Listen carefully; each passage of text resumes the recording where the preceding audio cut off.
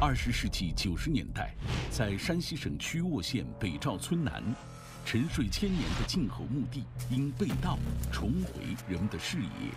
我们可以肯定，这个遗址在历史上的几千年没有被盗了。晋侯墓地发现九组十九座墓葬，其中有八座墓葬惨遭盗掘，考古人不得不进行抢救性发掘。盗墓打破了考古人的节奏。多次被盗掘的晋侯大墓里，究竟还隐藏着什么秘密呢？劫后余存的文物上，铭记着哪些鲜为人知的晋国历史呢？晋侯墓地里埋葬的究竟是哪几位晋侯呢？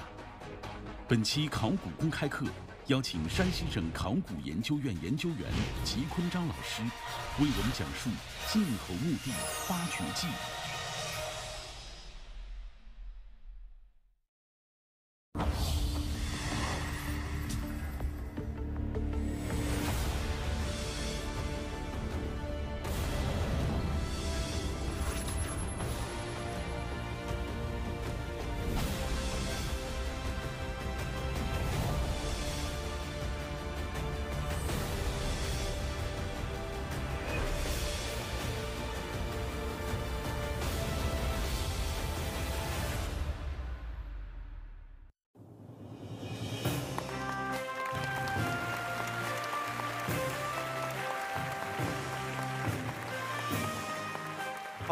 故事，文明有温度，让我们分享古老的秘密，让我们踏上发现的征途。欢迎各位收看考古公开课。首先，我要欢迎来到现场的六位我们的学员，欢迎大家的到来。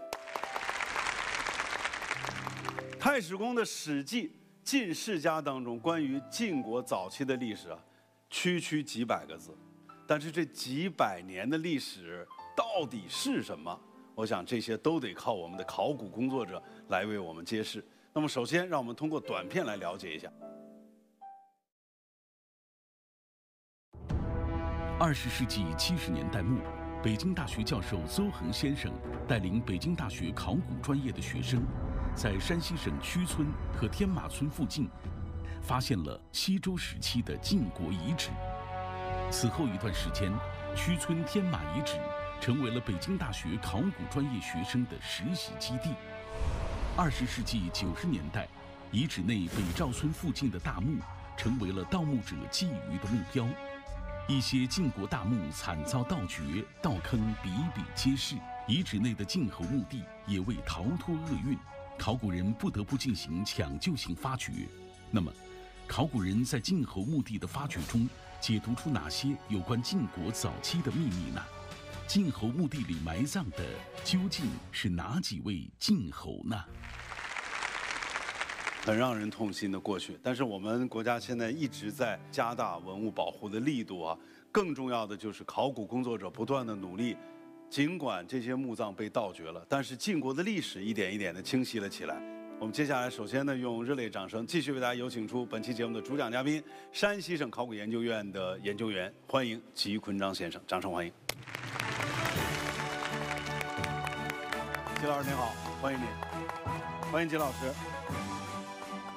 整个晋侯墓地的考古啊，出土了非常非常多的国之重器。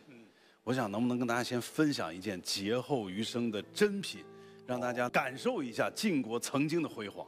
晋侯墓地有很多铜器是被盗了，嗯，有的墓虽然被盗空了，但是参照他父亲或者参照他儿子墓里面所出土的青铜器，我们最后大致。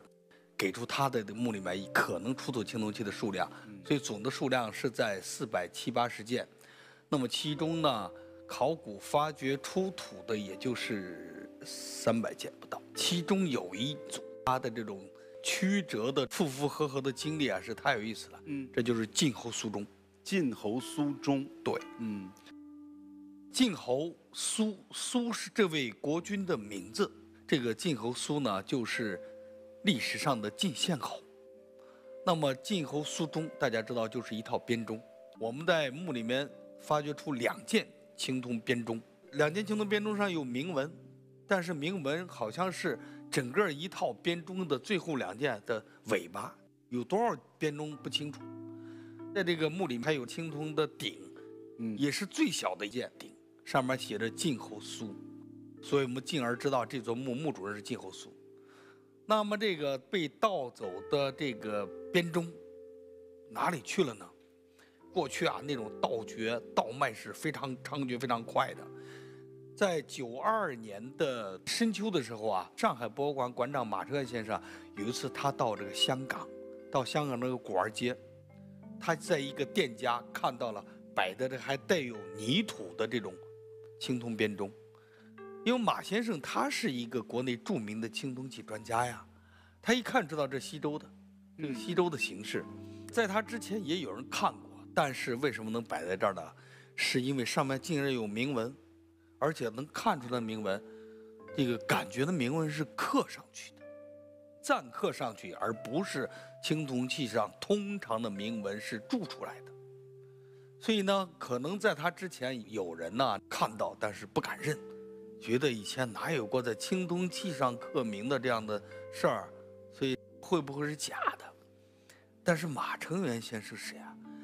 马承元先生是上海博物馆馆长，是国内著名的青铜器的专家，他慧眼识珠，一下子确定这东西可以，并且以很大的胆识啊，也给买回来了。买回来就放在上海博物馆，然后呢，经过清洗。铭文的确是刻的，是赞刻的，但是呢，铭文通过连读，竟然是晋侯苏。里面内容记载的是，在某一年的正月，这位周天子从这个宗周出发。周王他去干什么？他去征伐俗邑，所以带的军队，在部队里面有晋侯苏率领的部队。然后呢，这个铭文又进一步记载。这个周天子，然后呢，怎样子调遣军队，在什么地方分兵，然后呢，派晋侯苏朝哪个方向进攻？这个晋侯苏，然后带领他的部队去进攻，斩首多少，俘获多少，然后到一个地方，周天子这个对晋侯进行赏赐，并且他竟然能率领了周王室的军队，哇，这个这个晋侯苏在这时候的地位可以，所以晋侯挺开心，把这个事儿记录下来了。但是没有结尾，马先生一看是晋侯苏啊，知道这是晋国的铜器，同时也知道北大在整个曲村发掘，九三年的交通和通讯不像我们今天，马先生写信给邹恒先生，说是我们买回青铜器，希望你过来看看，啊，上面有铭文。到了第二年，也就是九三年的春天的时候啊。邹恒先生从曲村出发，到了上海呢，邹先生就看了马先生买回的青铜器。通过看呢，通过对铭文识读以及对整个器型看了之后，邹先生明确告诉马先生：“你这十四件青铜器是出自于山西曲沃曲村天马遗址北赵南的晋侯墓地第八号墓，并且与我们那儿。”考古发掘出土的两件合起来是一套，啊，这个太重要了！当时马先生站起来，非常认真地给邹恒先生鞠了一躬啊。这个我想这一躬呢意义很多，他确实买对了，而不是说是买买假了，对晋国的历史一个交代。对，而且这么一套编钟能够合璧，合璧。这个马先生啊，我想这个心情是五味杂陈的，非常复杂。嗯。那么，在西周时期的晋国有多少位国君？我们的考古发现有没有找到西周时期历代晋国国君的墓葬？而这些墓葬又会为我们揭示关于晋国的哪些真相呢？我想这些话题都是大家特别特别感兴趣的。让我们把热烈的掌声送给吉老师，继续为我们精彩讲述发现晋国。掌声有请。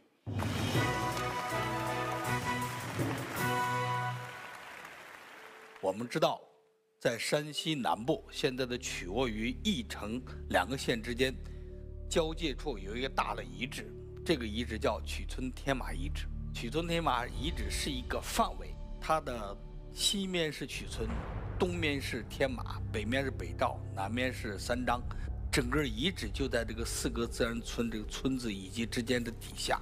北京大学与山西省考古研究所的同仁，他们经过将近半个世纪、两三代学人的艰苦的努力，考古发现与发掘，我们已经通过大量材料能确定，这个遗址呢是晋国在西周时期的都城所在地。它的最初使用是在西周早期，一直到春秋的早期，这个遗址不再被作为都城来使用。大家也许可能会问，我们有哪些材料能证明这地方曾经作为都城呢？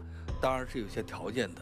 你比如，这个大型的夯土建筑基址，就是理智性的夯土建筑基址，甚至包括这种城墙。包括大型的宫殿建筑基址，还有晋国国君的墓葬。那么有关这个呢，在《周礼》里面专门有记载。就过去的墓地啊，它分公墓区和邦墓区。这个公墓是指国君的墓葬，邦墓呢是指其他的普通贵族以及平民的墓葬。而且呢，墓葬在里面怎样规划各个的墓位？它的墓的这个规模、墓的深浅，以及它所在的位置，这都是要经过具体规划，而且呢是有专人负责。这个还有个具体一个官名，一个叫种人，一个叫墓大夫，这两个就是管理这个墓墓葬的。所以呢，我们在现代考古发掘的时候，才能见到有好些墓地呢，大家一看，哎，这墓都很规整，排列的都很都很有次序、有规整，这就是当时这种。制度使然。当时那种墓啊，它地面不起坟堆，不像我们后来起个土堆，这个有土丘。那在先先秦时期，这样墓是没有封土的，叫不设封。不设封，但是不是说它地面没有标识，它是有，同时有专人管理。但问题是，就是当这种战乱或者时间一长，战乱之后，当原来管理墓葬的人。这个都跑了或者被杀掉之后，人们根本都不知道这里曾经埋了是晋侯的墓地。在上个世纪八十年代，北京大学开始在曲尊天马遗址发掘的时候，我们可以肯定这个遗址在历史上的几千年没有被盗扰。根据整个曲尊天马遗址的考古发掘规划，我们将整个曲尊天马遗址啊给它画成格，然后呢对每一个格逐逐步逐步的开展考古研究。可以说，如果按照这种计划，位于遗址内部的晋后墓地迟早是要被发现的。只是在上个世纪八十年代末到九十年代的时候，当时席卷全国的一个大的盗墓的情况，打破了考古人的杰作，让我们提前介入这个活动。我们后来发掘结束，整个晋后墓地是九组十九座晋国国君跟他夫人的墓葬。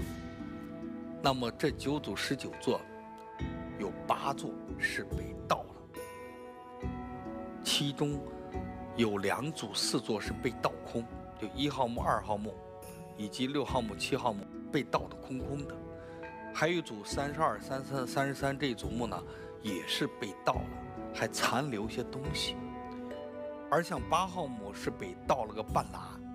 还有一百一十四号墓，也就后来我们所说的晋侯谢父墓葬，也是被盗了半拉。盗掘的情况还是非常惨的。第一次对整个晋侯墓地盗掘，应该是在九零年的春季，在这时候麦子正好长起来。麦子长起来以后啊，盗掘不容易发现。然后呢，到了九一年的冬季又进行盗掘，这应该算第二次。这次主要是在那个六号墓、七号墓那块盗掘。那么第三次呢，应该是在九二年的夏天的时候，因为九二年的春天，考古人就开始介入发掘这块儿。发掘结束之后，没想到又发生盗掘，这是第三次。那么第四次呢，是有一个明确时间，是一九九二年的八月三十一号晚上。又是盗掘者，他们盗掘其中的，后来我们编号为八号与三十一号，正好这个墓牌号排到八号、三十一号，而正好盗墓那天是八月三十一号。那天晚上，因为盗墓啊，盗的动静太大，北赵村的村民知道这个事情了。北赵村的村民在村委会的组织下，大家这个敲着脸盆举着火把，扛着绸头，然后大家喊着啊，然后到到地里去赶人。这个盗墓的他盗走了这个八号墓中的部分青铜器，包括晋侯苏钟和晋侯苏鼎，是非常珍贵的一些青铜器被盗走了。那么还有一次是在大约九八年的时候，同时晋侯墓地还有车马坑，每组墓葬都有一个车马坑，车马坑呢也有的被盗。后来我们发掘的一号车马坑就发现了好几个盗洞，一直都。探到这个墓地，所以毫无疑问，这样的盗掘对整个墓地啊是产生了很大的破坏，也为我们后来确定各组墓葬的墓主人以及整个墓地的排位也带来了一定的困难。这个我们下面会再讲到了。好，谢谢大家。谢谢齐老师。刚才这段讲述啊，让人觉得非常的痛心呐。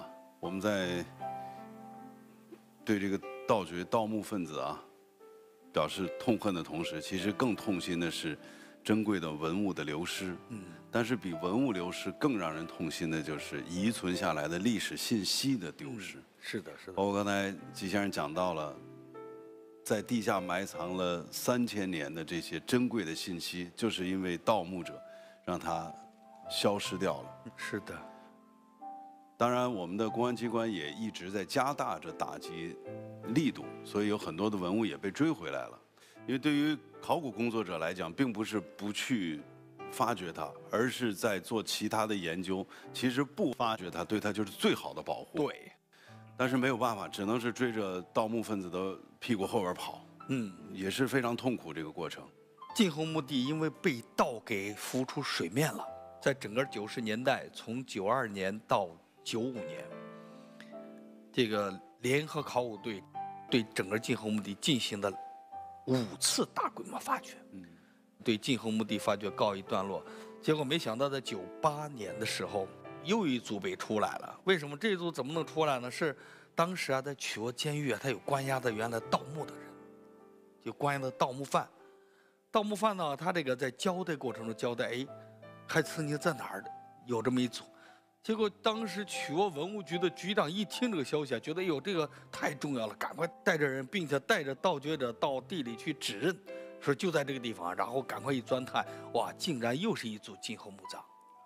所以呢，整个再加上这次发掘，整个晋侯墓地前前后进行了六次大规模发掘。然后呢，到零六年、零七年，我又来组织那个车马坑的发掘，那个车马坑也是到现在为止。中国国内发现西周时期最大一个车马坑，一百零五匹马，四十八辆车。嗯，那我们这样，我们说点让大家开心的事情啊。刚才呢，先是介绍了这个晋侯墓地的多次的这个发掘，特别是二零零六年、二零零七年，呃，就是刚才先生谈到的这个车马坑，嗯，它也是到目前为止关于西周的车马坑当中，目前考古发现的最大的一座。对对。关于这个车马坑的情况，跟大家分享一下。好。现在我们看到的图片，等于是已经发掘出来的几种车，哦，这是不同的类型的，这不同类型。哎，那我们请大家来猜猜看，好不好？就跟今天的车一样，有轿车，有货车，嗯，有有公共汽车，大家来看看这几种车分别都是干什么的？可以猜猜看。老师，我猜第一辆车它是不是吃过漆的一种马车？有彩绘是吧？对。这种车是干什么的？这种车应该是不是晋侯国君会乘坐的一种？因为我感觉它的等级会不会比较高？哦，那第二个呢？第二个看起来好像是青铜材质的，它会不会就是适用于打仗的呢？是是不是战车呢？战车啊，坦克，嗯，装甲车。第三呢？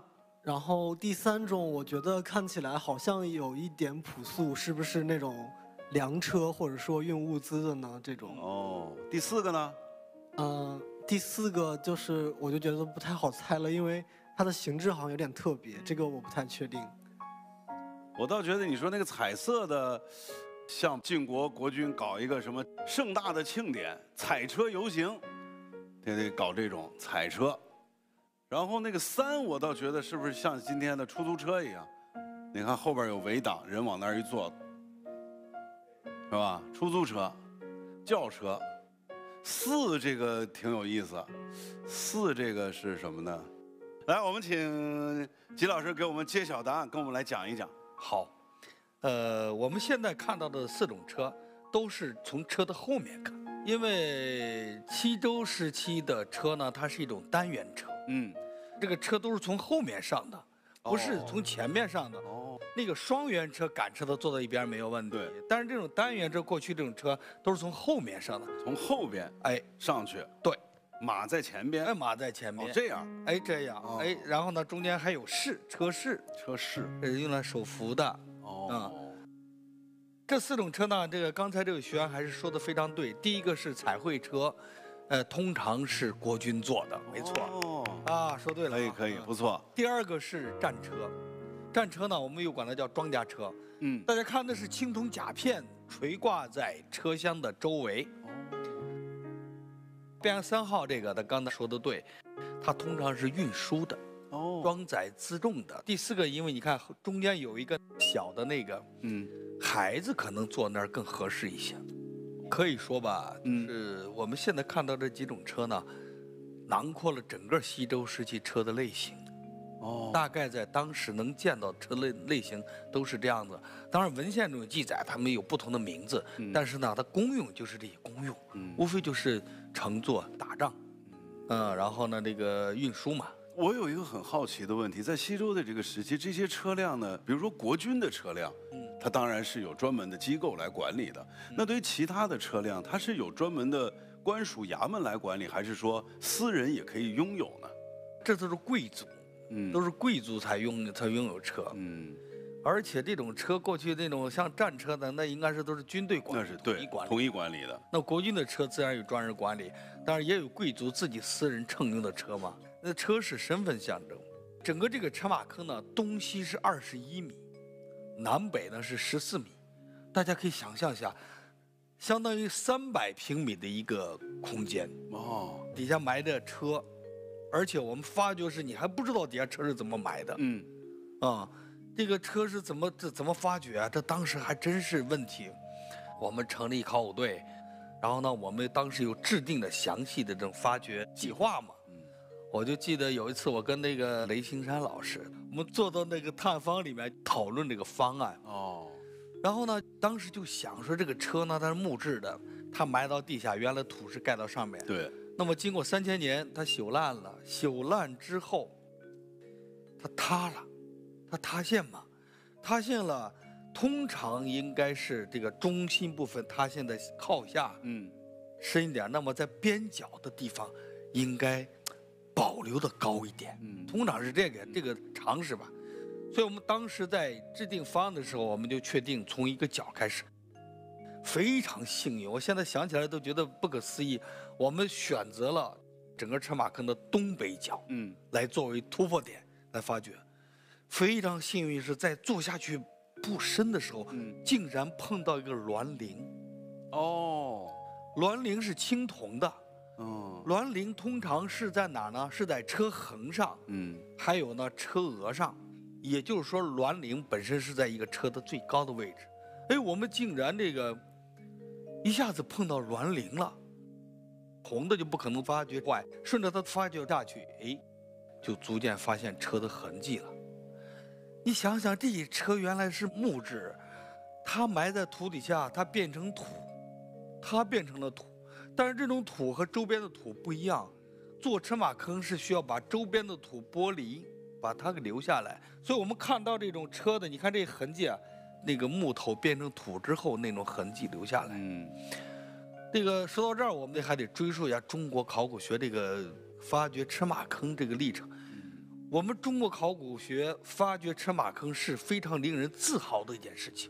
在上个世纪四十年代，郭宝军先生发掘安阳殷墟的时候，那时候就见到车，但是就没有这种技术把它给做出来。嗯，大家苦苦的摸索，直到五十年代，夏奈先生在浚县新村，嗯，发掘魏国时期的墓葬的时候，发掘车马坑，才把这个才才把车给做出来。嗯，这是件非常令人自豪的事儿。土中找土，嗯，找出车马坑，看到这个车的样子了。看到车的样子。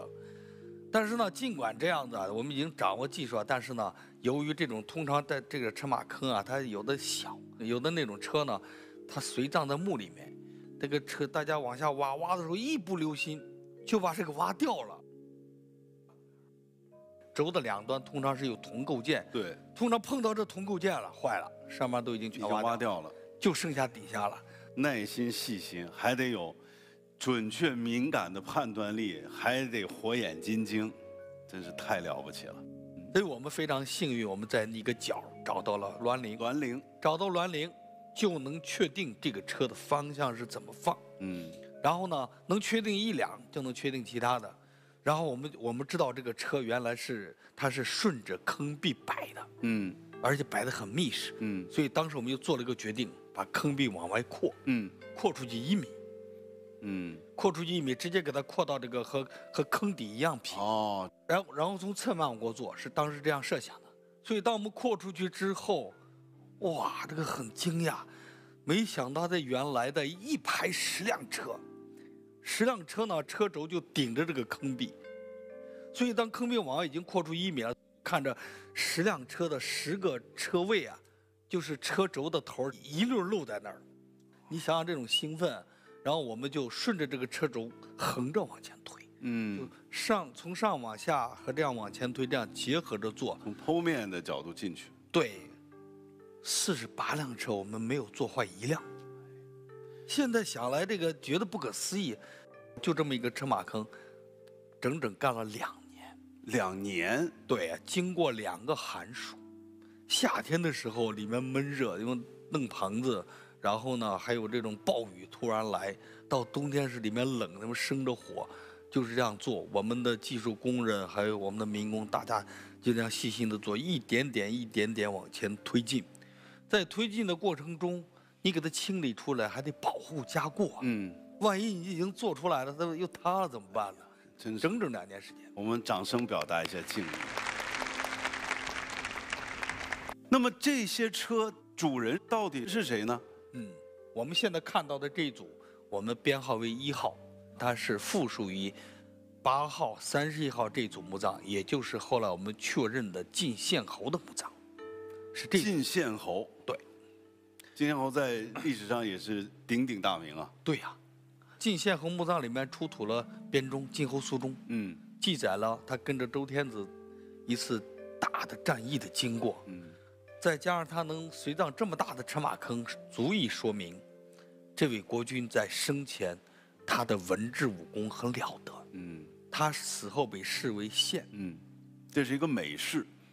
是一个非常好的事。我们有个参照，就是到春秋时期，晋国另一位国君叫晋献公。嗯晋献公的时候啊，是晋国开疆拓土的时候，嗯也是晋国这个大力发展扩张的时候，所以可以想象晋献侯也应该是很了不得，嗯要不才有这么大一个车马坑。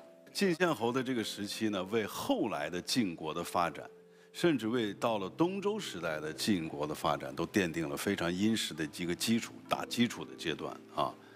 啊，这是车马坑的事情。大家对车马坑有什么好奇的问题、感兴趣的问题，和老师来交流，有请。吉老师好，就是我想问一下，您刚刚说了有那么多种车，我了解的是东周时期，我们通常把一个大国叫做千乘之国，在晋侯大墓之中发现这么多车，是不是可以印证这个晋国当时已经在一步一步的崛起了呢？嗯嗯，呃，西周时期的晋国，它还主要是在晋南，嗯而且呢，它国力还是有限的，呃，在当时的国际舞台上所发挥的作用还有限。毕竟有周天子在那顶着，什么事儿都有周天子来组织，还还没有那么大的作用。那么到了春秋时期，尤其是晋国晋晋文公一举成为霸主之后啊，那这个晋国的地位就厉害。到了战国时期啊，通常一开口就是千乘之国、万乘之国，是用这种马车它的多少来形容一个国家的国力的。嗯但是它也是个逐渐发展的过程。我们举个例子，你比如晋文公重耳在公元前六百三十二年城濮之战的时候，晋国当时出的兵车有多少？大家可以想象一下有多少？七百乘，七百辆战车啊！七百辆战车在当时已经是晋国能拿得出手的车了，嗯，他恐恐怕也就这样了。，对，才七百辆，而再往前，在西周初年，就西周是周王灭商是用战车的。嗯，周王灭商是用多少辆战车呢？三百辆战车。所以呢，到了战国的时候啊，动不动千胜万胜，哪是不断的发展。好，还有哪位同学？就是我就很好奇，这个晋侯墓地的这个战车，它这个战马和战车的配比是怎么样的？嗯呃，因为古代车是单元车，嗯，单元车它是至少是要配两匹马，对，一左一右。它一左一右，两边的马它有名字，嗯叫伏马。这个前面这个伏马，它是架在这个横上的，嗯车辕有个横是架在横上的，而当一边的需要帮一匹的时候，叫参马。嗯参马是不需要架在横上的，嗯参马是这个相对独立。为了彰显威仪的时候，那么一边再加一匹，这就是天子的规格。当两服两参的时候，这是驷马嘛？君子一言，驷马难追。所以呢，过去有两匹马、四匹马、六匹马。六匹马被大家说成是天子驾六，嗯四匹马大家说成是君子一言，驷马难追。两匹马呢是过去大概通常是用两匹马，当需要增加这种嗯马力的时候才用四匹马。但是打仗的时候，你可以想象一下，这个通常我觉得两匹马可能够了。而且它灵活机动。它灵活，它要四匹马是极不灵活。，对。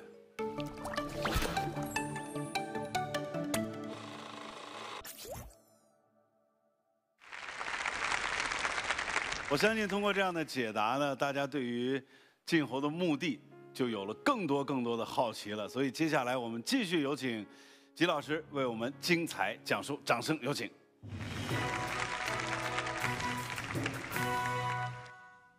整个晋侯墓地是九组十九座晋国国君跟他夫人的墓葬。我们大家仔细看，这是整个晋侯墓地的平面图，每一组晋侯和夫人的墓葬，以及他们的陪葬墓，以及他们的附葬的车马坑，这个整个一个平面图。我们大家可以看到，整个墓地呢应该分从北到南分三排，第一排是一组、两组、三组、四组，第二排是两组，第三排是一组、两组、三组，这样呢是分三排这么一个分布。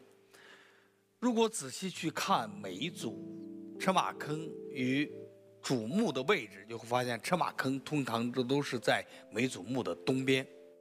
而且，如果根据我们后来对墓主人的性别的鉴定啊，在东北角上这两组呢，男主人在西，夫人在东，而往后呢都是男主人在东，夫人在西。这个也说明整个在晋国那个时期啊，它这中间有一次礼制的变化。晋国人最初是上北、上西，后来变成上北、上东。这是整个晋侯墓地的平面布局的情况。那具体到每一组墓葬，我们可以平面看。一组呢是一个墓室，南边带一个墓道，这是一种；一种呢是一个墓室，南北各带一个墓道，这是一种；还有一种就是纯粹就是一个墓室，它没有带墓道的。我们管第一种通常管它叫甲字形，第二种通常叫中字形，第三个就不是的，就是一方框。那么这种带着墓道的，是一种级别的象征。同时有腹葬的车马坑，有墓道，这个一看就知道，哎，这是晋侯以及晋侯的夫人。那具体到每个墓里面，这种墓道呢，像这种南边的墓道通常是斜坡的，而北面的墓道呢是台阶状的。具体到每一座墓葬里面，它这种棺椁的结构，通常晋侯是使用一椁两棺，这是我们的专业术语。椁就是指椁室，意思是在原来在这个营造墓的时候，挖下土矿之后，在底下用木板给它搭建一个房子，我们管它叫椁室。所区别的是，这个房子有底儿有四面，这个盖儿是最后盖的，然后呢，等于是一个方盒子，在这个里面放棺材，棺材呢通常是两重棺，两重棺代表一种身份。这个晋侯都通常都使用两重棺，然后呢，在棺椁之间放置随葬品，通常在棺内是放大量的玉器，而在棺椁之间是放青铜器。青铜器不包括这种礼器和青铜的乐器，还有兵器、车马器等等。那这个这些随葬的青铜器呢，它又有一定的规制。这种规制呢，我们大概概括起来就是这样子。在西周的早期，也就是早期的两三组墓葬的时候，它所放的青铜的鼎、青铜的簋，这个数量还是不稳定，鼎的数量还甚至还多。那到了最后的两三组墓葬的时候呢，这个青铜鼎的数量是固定的。你比如八号墓这一组，通常晋侯是使用五鼎，而他的夫人通常使用的是是三鼎。这个五鼎或者三鼎，就是我们平时说的这种列鼎的概念。我们都知道，在中国古代，在先秦时期，尤其在周代呢，它有一种列鼎的制度。鼎代表墓主人的身份，是一种身份、级别、地位的象征。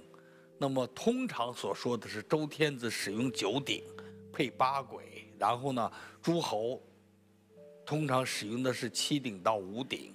然后呢，卿大夫使用的是五鼎到三鼎，然后呢，一般的士使用的一鼎，这是文献上这样记载的。那么具体在晋侯墓地所见到的，那个最后的三组墓葬，晋侯呢使用的是五鼎，他的夫人使用的是三鼎，这是中国礼制的一个演变。这种演变就发生在西周中期，这个在全国都一样，不仅仅是在晋侯，在陕西、河南见到的。这种西周时期诸侯级的墓葬，这种演变都一样。这个我们可以再举个例子，到了春秋时期，春秋时期由于晋国的地位的扩张，晋国国力的强盛，那么在太原发掘的一座赵简子的墓，赵简子当时他的身份是晋国的正卿，也就相当于丞相这一级。在赵简子墓里面发现了很多鼎，其中能主要的代表他的身份的一套鼎是七鼎。大家可以比较一下，西周晚期的时候，晋国的国君仅仅使用五鼎，在那个时候，相当于赵简子的顶多使用三鼎，这也正是我们在历史上所说的这个，这个孔夫子所讲的礼崩乐坏，其实是一种礼制的大的变化。那么，这个在墓葬里面出土大量的青铜器，它除了鼎以外，它还有青铜的簋、青铜的眼、青铜的壶。盘仪等等，这些东西概括起来就是青铜的鼎和簋，通常是指食器，是装食物的。那么青铜鼎是通常用来装肉的，而青铜簋是用来装这种属鸡稻粮的，啊，然后还有这种酒器是用来盛酒的。这是整个这个晋侯墓地所见到的青铜器的一种组合，从早到晚这种组合啊。都反映了这个当时呢这种礼制在整个西周时期的演变。纵观整个晋侯墓地，无论是晋侯还是夫人，在他的墓葬里面、棺里面都大量的随葬着玉。到了整个西周时期啊，这种玉器成了一种承载礼制的，成为礼的载体，并且形成一定的制度。所以呢，反映在这种葬礼上，具体随葬上，那么玉器啊都代表一定的含义。你比如，它有一种玉叫藏玉。这种藏玉呢，分好几种，把那个玉琢磨成人的五官的形状，缝缀在布子上，盖到人脸上，这个叫锥玉面目。还有把玉含到嘴里，嘴里叫玉含。还有握着手里面，这个叫玉握。还有脚底下蹬的，这一套叫藏玉。另外还有其他的，挂在脖子上这种大的组佩。还有头上戴的、耳朵上戴的、整个身上的，形成的一整套这种这个，呃，用玉制度，而且呢非常具有代表性。它这个西周时期的玉祖佩啊，主要是以黄为主的祖佩，挂在脖子上、垂在胸前的。其中，到目前为止最大的一组玉祖佩就出自于晋侯墓地，长两米多，有几百件组成。想来，在这个墓主人生前是非常钟爱的。那么周人为什么随葬玉祖佩呢？可能与周人这种用玉观念有很大的关系。他们认为玉温润、声音悦耳、纯洁，它比较坚韧，所以玉的这种品德呢，成了大家学习的一个榜样。周代社会是一个贵族社会，这些贵族们啊都想自己啊去做君子。做君子如何去做呢？得找学习的榜样，找来找去，找到了玉，因为玉一直在中国人的文化传承中起到非常重要的作用。所以呢，这个玉成为在当时啊贵族社会里面大家非常崇尚的一种东西，以至于死后在墓葬里面大量的随葬玉，他们相信这个玉啊可以使人不朽。那这种青铜器、玉器共同构成了整个晋后墓地它的随葬品的这种结构。在山西省临汾市曲村天马遗址的北赵晋侯墓地中，发现了九组十九座排列规整的晋侯夫妇墓及附属的车马坑。是国君夫妇的专属公墓，每代晋侯夫妇几乎都有陪葬青铜器，除了青铜列鼎、列簋之外，还有青铜壶、青铜盘、青铜编钟等。这些青铜器不但规范了君臣尊卑，有些也将其主人的故事铭记其上，是西周社会礼制日臻完善的重要体现。然而，这里埋葬的究竟是哪几位晋侯呢？现在，整个晋侯墓地平面搞清楚了，九组十九座墓都在这儿。那么，每一组墓葬是谁的墓葬？是哪一位晋侯的墓葬？这确实很关键。尽管考古人通过考古的方式，你比如我们可以通过对陶器的对比。通过对青铜器的对比，通过墓葬形制的演变以及在墓地的位置，我们大致能给定出一个顺序来。但是呢，你具体到如何确定每一组墓葬是谁呢？这个是非常关键，也是我们在考古发掘中大家一直头脑中思考的一个问题：到底是哪位墓？在一九九二年春天的时候，刚开始发掘一号墓、二号墓，因为这组墓葬被盗一空，所以呢，我们没有找到非常详细的资料去说明这墓主人是谁。接下来，在这个秋天是发掘八号墓、三十一号墓的时候，哎，有了突破。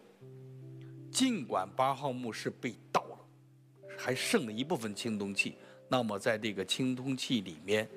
发现了青铜的铭文，这个青铜铭文上面竟然写着“晋侯某某某”，哇，这个太关键了！当发现这种“晋侯”字样时，候，激动的抱着这个青铜器啊，然后喊着“邹先生，邹先生，我们这儿有这个字，有有晋侯字样了”，一直激动成那个样子。这是因为啊。在八十年代，整个考古人，北大以及山西考古人对整个曲屯天马遗址发掘那么多资料，大家就苦苦找不到有晋侯字样的东西，啊！而且在前面根据的墓葬形制，知道这么大的规模，这这种规模墓应该是晋侯一级的，但是呢，就是没有直接的这儿见到晋侯字样了，并且是晋侯某某某，哇，这个太神奇了！出土的晋侯铭文。成为后来我们推定整个晋侯墓地九组十九座晋侯墓的整个一个支点。那么通过这所有考古材料梳理啊，对这青铜器梳理，总共发现有六位晋侯的名字。大家一听觉得，哎，这不挺好吗？那么这不就和文献对照起来了？司马迁不是专门有个晋世家吗？专门排了从西周早期开始，从晋侯谢父，然后晋侯晋武侯、晋成侯、晋厉侯。晋献侯、晋穆侯一直下来，排定这个，那一对照不就行了吗？但是，一对照发现问题来了，这不对。在所发现的六位晋侯的名字里面，只有一位能和老先生所记的史记能对应起来，还不是和老先生直接记的对应起来，是后来有人对老先生这个书做的注。这个柱的后面有一个晋献侯明书，而这个八号墓里面发现一个青铜鼎，青铜鼎上写着晋侯书，才这才能对应起来。尽管前面很激动，而且有好些晋侯，但是其他五位的晋侯名字和文献上都没有对应起来。怎么解决这问题呢？后来我们通过对整个晋侯墓地青铜器的发现，然后呢，李伯谦先生提出了几个原则来。李先生提出的第一个原则就是，在上一位的晋侯的墓葬里面不会出现下一位晋侯器。这个是什么意思呢？父亲是儿子给他埋葬的，那么儿子埋葬父亲的时候，还没有晋侯器了。他父亲刚去世，他还没有来得及做自己的晋侯器来。但是呢，在晋侯的夫人墓里面却有可能出现，是因为通常男性去世的早，也就是他父亲去世的早，他母亲去世的晚。他母亲如果晚些年去世，他这时候已经是晋侯，他已经有坐下晋侯的气，他的气可以出现在他母亲的墓葬里面。这是一个原则。还有一个得承认，这种在那个时候。有一名一字的原则，名和字是互相对照的。那么在西周时期恐怕也是这样，司马迁可能记载是他名，司马迁没有记字，而出土的青铜器有可能是字啊，所以对应不起来。而有意思是在八号墓里面出现了两位晋侯名字，一个叫晋侯苏，是出现在。鼎上和编钟上，而有晋侯司是出现在鬼和壶上，怎么解读？怎么解释这样的问题？后来提出这种一名一字的原则，有可能都是指晋献侯的。我们有通过有几组有关键的铭文，你比如三十一号墓出土的有个青铜器，青铜器铭文说是文考成侯。而在九十二号墓里面又有出土青铜器，说是文考腊侯，腊侯就是厉侯，就是晋厉侯。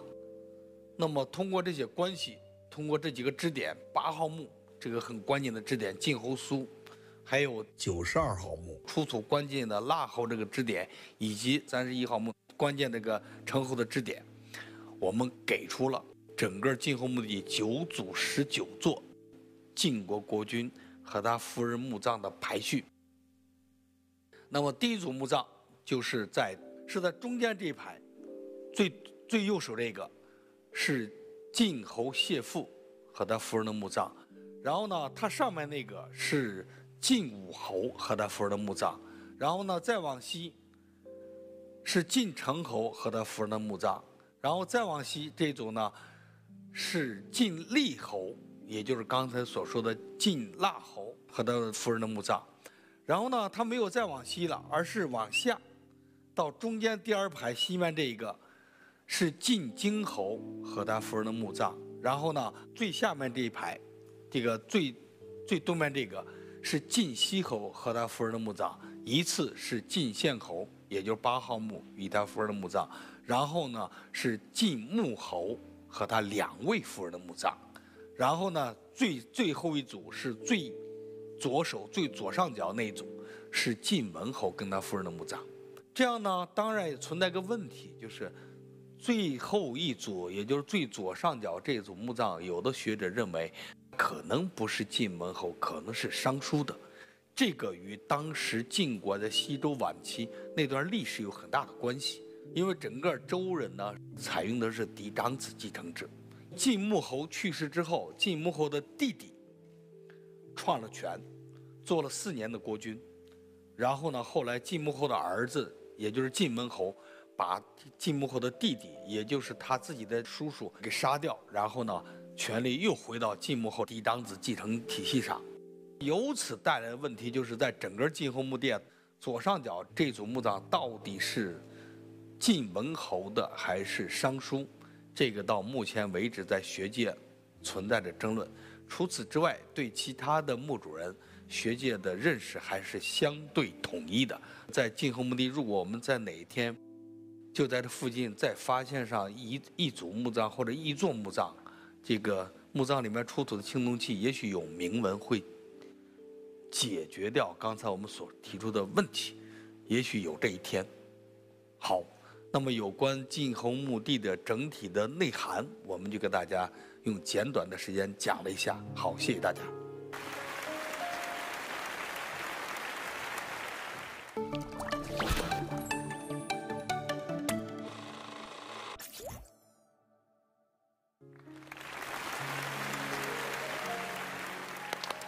非常感谢吉老师，但是大家没听过瘾，因为其实内容非常非常多，好像吉老师也做了一些删减啊，现场做了一些删减，太复杂，这个很难在这么短的时间里面把这事儿说清楚。对，但是其实每一个内容我们都特别感兴趣，比如说，呃，我们的考古工作者是通过什么样的信息，考古发现的信息，然后又通过什么样的资料的对应，又通过什么样的逻辑缜密的分析的过程，最后推定。某一座墓和历史上的某一位晋侯直接对应上，对，这个是就像搞刑侦一样，很有趣的一个过程，但是也很艰难吧，就像破案一样，就像破案一样，没错，非常艰难。是的，是的，这个过程也经历了很长时间。嗯。嗯，我们来看一看大家有什么最感兴趣的，想和老师交流的，来有请。吉老师您好，哎，我特别喜欢晋文公重耳他的这个历史故事。嗯，呃，那么在晋侯墓地里可能埋葬着的这个晋文侯和春秋时期的晋文公，他们之间有没有一些相似的经历呢？谢谢老师。他俩人相差了一百多年。嗯，晋文侯呢，他在位是三十四年，主要是西周晚期到春秋早期。晋文公呢，他在位只有八九年，主要是公元前六百三十年前后，也就是春秋中期这个阶段。他俩共同的呢，都视为文，嗯，视为文是非常了不得的。那个汉文帝周文王，在过去啊，在中国谥号里面，这是非常做了丰功伟绩的人才视为文。晋文侯做什么丰功伟绩？在西周王朝累卵之际啊，将要倾覆的时候。是晋文侯挺身而出，然后呢，这个护送周平王东迁，稳定了王室。对，然后呢，建立了东周。嗯，那么晋文公呢，他为什么被视为文？他不仅仅是因为后来他城濮之战称霸，关键在这之前周王室就有乱。晋文公他带兵出兵平复了王室之乱，把周襄王又接回去，然后奉他为天子。在晋国历史上没有几位受过。周天子赏赐啊，并且晋文公是被授予伯的地位的，伯就是霸，就是老大，所以呢，晋文公和晋文侯在晋国历史上都为晋国做了很很多很多贡献，都被视为这个文。好，谢谢谢谢老师，来有请。吉老师好，我一直有一个事儿很好奇，就是您给我们介绍了一号车马坑、三十三号墓。九十一号墓，那这些序号或者说这些排列顺序是有什么制定的这个确定的依据吗？这是考古上的一个常识。为什么晋侯墓地发掘的第一组墓葬是一号墓、二号墓？是因为他俩最先发现，所以编号为一二。后来就这样一次的往下排，但是呢，发现不是挨着发现的是晋侯，一号墓、二号墓完了，可能还发现又发现几座汉墓。那么他就往下排，三号、四号、五号，一直往下排下去，所以以至于整个晋侯墓地九号、十三号本来是夫妻两人墓，一个是九号，一个十三号。嗯。那八号、三十一号本来是夫妻俩人，一个是八号，一个三十一号，是发现的时间早晚不一样。嗯。这是一个墓葬呢，我们通常排的是就 M，M 八啊，是用 M 这个墓号。而这个车马坑呢，是用 K 来，K 坑坑嘛，啊坑这个坑那就是一号坑，一号车马坑，所以呢，它是正好它最大，就就发就发掘它时还没有发掘别的，就给它起了个一号一号车马坑。所以以后大家去这种考古现场或者这种遗址博物馆，一看到编号就知道哦，这是墓，啊，这是什么时候发现的，大概一个相互之间的关联。现在有好多考古博物馆，你大家以后看，它有可能出现这种，呃号，H 打头的，H 打头的，何为灰灰坑？然后我再问一下，那用这个 J 打头的呢？G，啊，哎，或者用用 F 打头的呢？F，F 打头是什么呀 F 打头是什么？井。房。哦，对呀，对呀，F 是房，这这是井，所以这个就是回到刚才吉老师讲的那个答案，有的时候简单到出乎意料。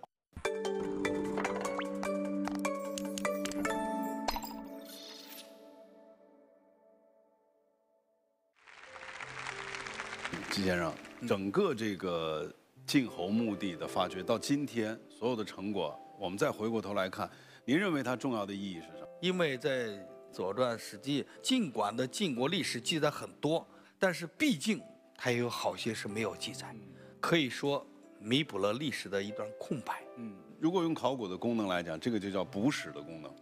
对，嗯，正经不是。嗯，在上个世纪九十年代时候，我们国家有一个叫夏商周断代工程，里面其中有一个。主题就叫西周列王年代研究。那这个西周列王年代研究需要大量的材料，那么晋侯墓地发掘正当其时，它出土的好多材料里面的天文，它的历法很多，就是对整个西周列王研究提供了区域性的材料。哦，这个太重要了。这个太重要了，啊，还有就是整个晋侯墓地，我这个从另一个角度证明整个这个。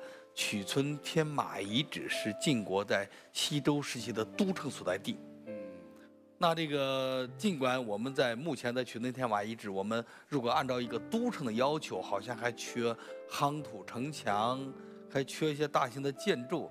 但是呢，这么重要的墓葬在这里，古代这种居葬是分的不会太远的。而且呢，整个曲村天马遗址也有那么多遗址啊。对于研究整个晋国在西周时期的历史啊，那是非常有用的。先生在这工作了几十年了我是一九八四年的时候，当时呃作为本科生在曲村实习，然后到了零二年呢，山西省考古研究所来安排我负责整个曲村天马遗址，一直到这两年这几年，那就是后来又在这儿有二十年的时间。关于晋国啊，其实我们用了两期节目的时间，有请吉先生带领着我们去发现晋国，啊，因为晋文化在中国大地上，它也是我们中华文明非常非常重要的组成部分，一直影响到今天。也特别感谢吉先生到来，也再一次感谢所有的那些为我们的考古事业做出贡献的每一位，让我们把掌声和敬意献给他们。来，起立，谢谢。谢谢谢谢吉先生的到来，谢谢您。吉坤昌先生的研究呢，通过考古为我们来解读了西周时期晋侯墓地当中多位晋侯的历史，让那些原本存在在文献记录当中的晋国的历史，出现在了我们眼前，让那些书写的历史活了起来。在考古工作者的努力之下，他们又以这样的方式。呈现在我们的面前，这也许就是我们认知历史的一扇窗，这也就是考古工作的意义之所在。让我们通过这样的节目，再次向考古工作者表达我们深深的敬意。再次感谢各位的收看，我们下期节目再见。